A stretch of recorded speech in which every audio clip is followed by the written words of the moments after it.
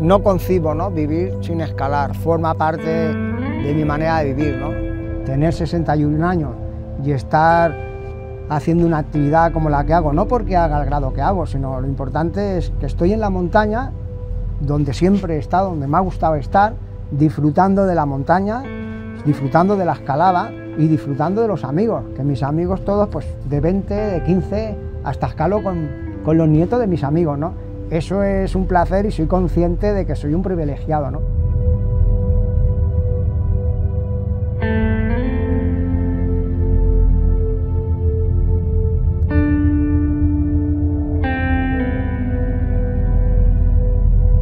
¿Que hay pocas escaladores con mi edad que hagan este grado? Sí, yo no tengo constancia que haya escaladores que hayan hecho ocho veces más. Yo no tengo constancia, no sé si lo habrá pero desde luego si los hay son muy pocos en el mundo. ¿no?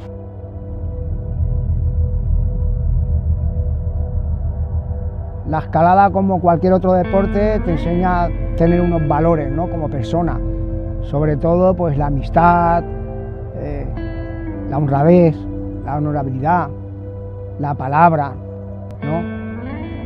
El ser sincero. Yo creo que la escalada es uno de los deportes que más llevan estos valores. ¿no? Y esto te forma como persona, te ayuda luego en la vida, ¿no? Porque aprendes de los fracasos, del sufrimiento, ¿no? Y, te hace como persona, ¿no?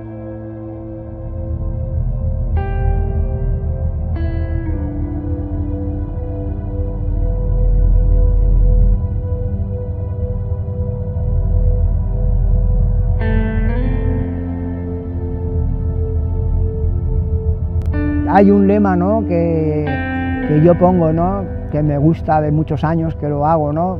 para los chavales jóvenes, ¿no? que es el lema de la banda, ¿no? fuerza y honor. ¿no?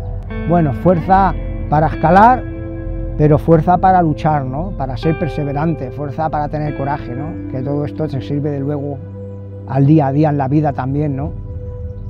Y honor por los valores, ¿no? los valores que tiene una persona. ¿no? Si una persona no tiene valores, pues ya no es persona, ¿no? Contra más valores tiene unas personas, mejores, ¿no?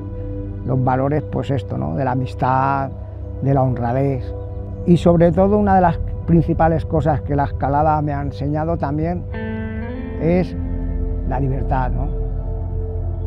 El escalar te da mucha libertad y te sientes libre, ¿no? Y eso para mí es muy importante.